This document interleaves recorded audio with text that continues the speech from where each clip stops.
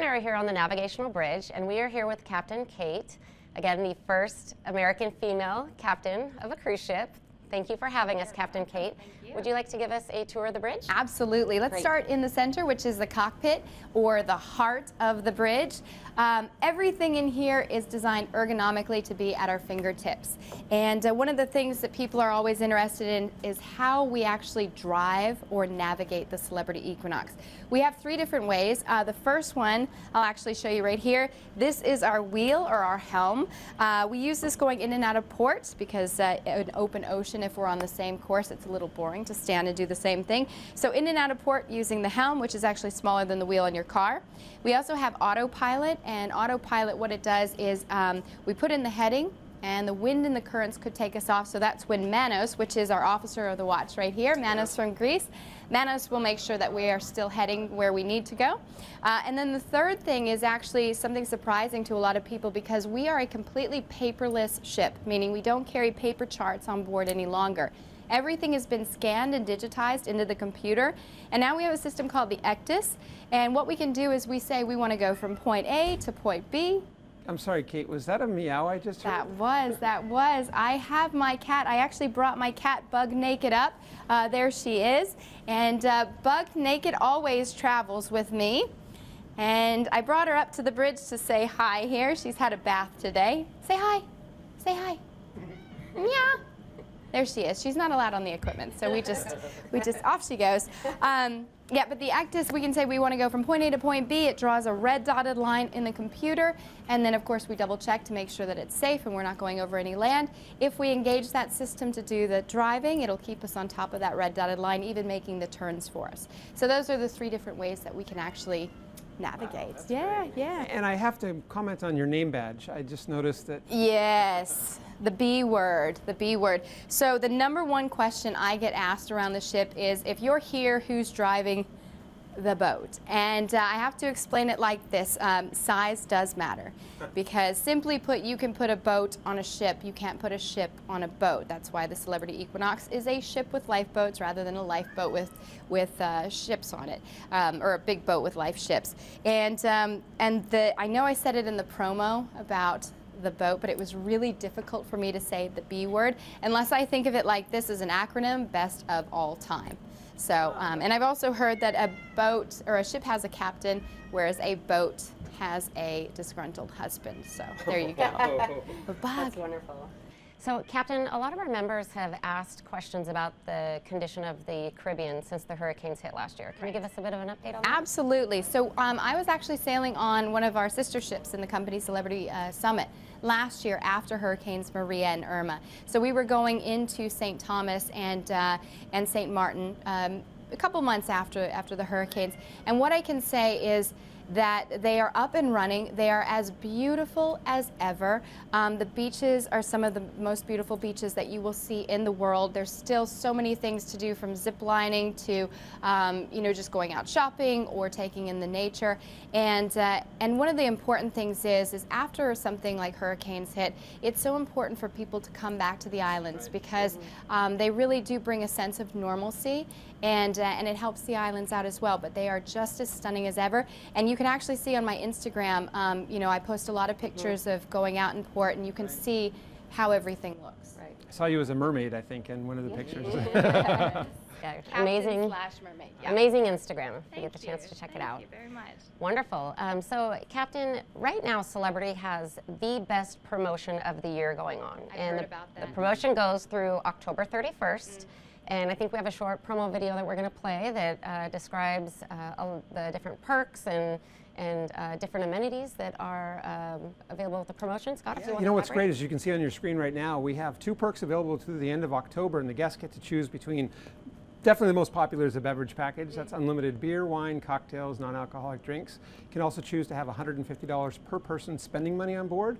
or prepaid gratuities, or you can have free Wi-Fi on the ship. Now, honestly, I think when you're on vacation, you should turn off the, the Wi-Fi on the phone. But anyway, that's one of the options. Unless you're on Instagram. That's true. Or that's yes. true. Yeah, that's right. yeah. And uh, we also have 50% off third and fourth guests, so it's great for families. And suites and guests that cruise on an Alaska cruise tour, which is, the, of course, the cruise and land portion of it, get all four perks. So we're really excited about that. Right. But I think we have some questions that have just Yep. come in. Is that right? I just wanted to touch on all Costco members receive a Costco cash card with, right. with every celebrity uh, uh, cruise that they book. Yes, so uh, let's take a few questions that we received from Costco members.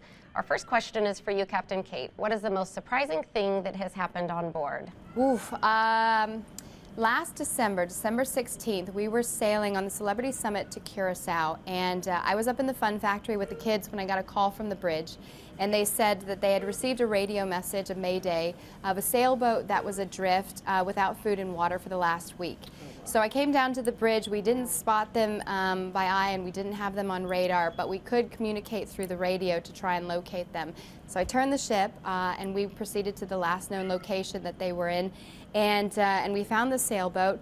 We put our rescue boat in the water along with our um, security team and our medical staff and we brought six people on board um, and the, the thing is is it was three men three women and they had left haiti on their way to Guadeloupe. Wow. and shortly after sailing, they had lost steerage, and then shortly after that, they lost their um, they lost their uh, sail, and so they were actually adrift in total three weeks.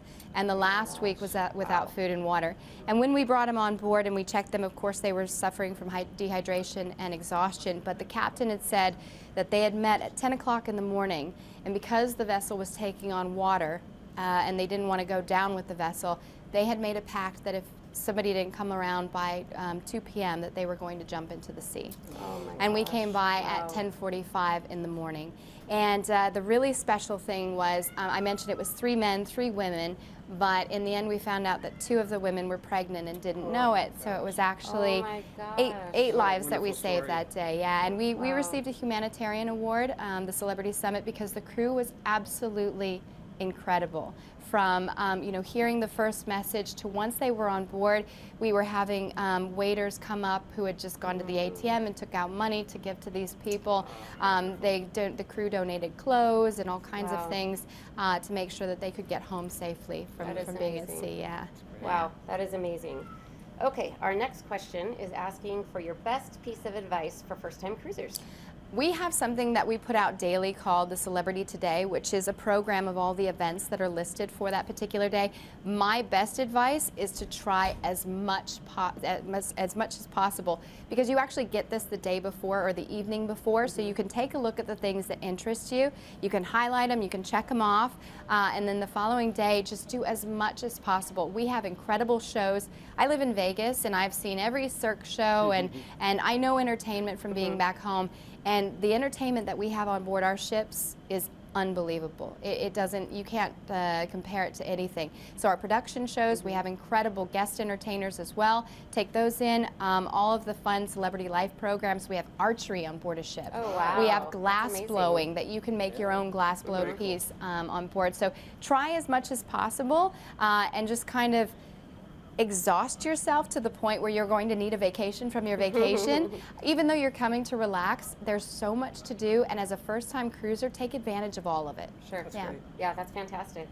Okay, one final question asks uh, where your favorite place is to cruise. I'll let uh, both of you answer. Scott, you want to go first? Ah, wow. Been to a lot of great places, but my wife and I had a chance to go to the Galapagos Islands uh, a few years ago, and it is by far the most amazing place that we've ever been. Um, it, Celebrity has three ships there. We have a 16 guest uh, small ship, a 48 guest yacht, and a 100 guest mega yacht. And then this next year, we're building a brand new all suite ship, all made of glass, called Celebrity Flora and that's going to be an amazing experience in the Galapagos. But the thing about the Galapagos Islands for me is that the animals have never been harmed by a human, mm. so you're just like one of them, and they mm. interact with you. My wife and I were in the water, and we were actually snorkeling with sea lions and with, uh, with penguins that were coming in and out of our legs and mm. playing with us. We saw the blue-footed boobies and waved albatross and all the mm-hmm. birds and activities. It was just remarkable, and you can include Machu Picchu as part of it, and mm-hmm. it's an all-inclusive vacation. So it's really That's a wonderful. great, great place to be. Oh, Captain? Uh, well, Galapagos is definitely my bucket list. If anybody wants to take me, I'm willing to go. Um, but I would have to say that my all-time favorite itinerary is Alaska. because it's one of these places in the world where if it's gray, if it's cloudy, if it's overcast, even if it's raining, it's authentic. The color of the icebergs pop.